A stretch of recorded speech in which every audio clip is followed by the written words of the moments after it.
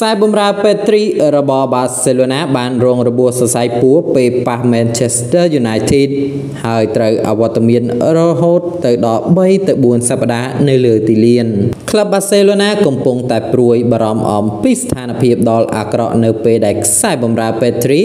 បានរងរបួសសរសៃពួរដែលអាចសម្រាប់រយៈពេល1ខែកីឡាករវ័យ20ឆ្នាំរូបនេះដែលបានចាប់ផ្ដើមប្រកួត Europa League ក្នុងដីរបស់ខ្លួនជាមួយក្លឹប Manchester United ដោយបានខកខានក្នុងតង់ទី1បន្ទាប់ពីមានបញ្ហាសាច់ដុំនិងមិនអាចបន្តលេងទៀតបាន ហើយត្រូវបដូរជំនួសដោយកីឡាករ Sergio Roberto ជាលទ្ធផលក្រុមទាំងបញ្ចប់ដោយលទ្ធផល2ទល់នឹង2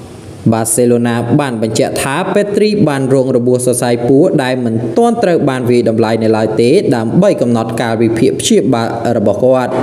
ប៉ុន្តែគេរំពឹងថាគាត់មិនអាចត្រឡប់មកវិញទាន់ពេលសម្រាប់ការប្រកួតទី2នៅទឹកដីអូត្រាហ្វតឡើយ